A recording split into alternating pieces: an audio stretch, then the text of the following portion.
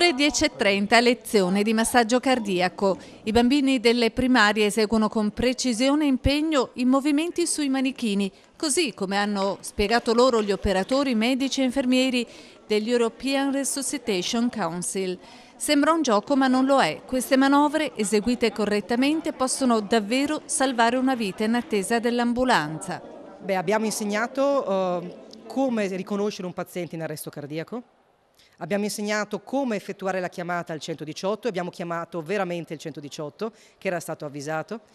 Eh, abbiamo insegnato a fare un massaggio cardiaco eh, a ritmo di musica. E queste sono le manovre fondamentali che devono essere fatte eh, all'inizio, appena, un paziente, appena una persona perde conoscenza, perché se no quando poi, per quanto il 118 arrivi velocemente, c'è sempre una latenza, c'è sempre qualche minuto.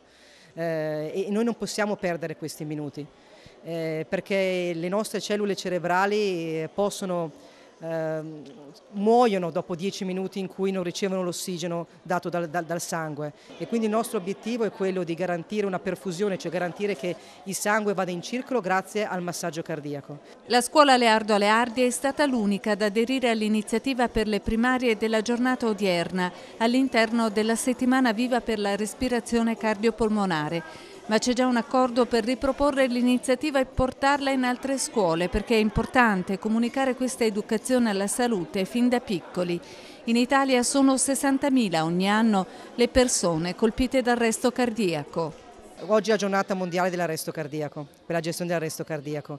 A Verona c'è già un progetto che si chiama Verona Cuore, in cui diamo queste, questi insegnamenti, più l'insegnamento della defibrillazione, agli ragazzi delle quinte liceo ma non è mai stato fatto un'iniziativa verso le quinte elementari, verso l'ultimo anno delle scuole primarie e questa è la prima scuola eh, che fa questa iniziativa però poi allargheremo questa iniziativa a tutto sostanzialmente, a tutta Verona e provincia. Cosa bisogna fare? Le cose sono, è molto più semplice di quello che sembra. Innanzitutto bisogna chiamare il paziente, la persona, e dirle eh, signore, signore mi sente, se non ci sente eh, ci sono delle manovre semplici per vedere se il paziente respira.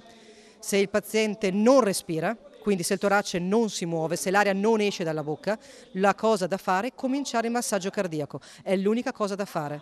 Prima di aver fatto questo dobbiamo chiamare l'118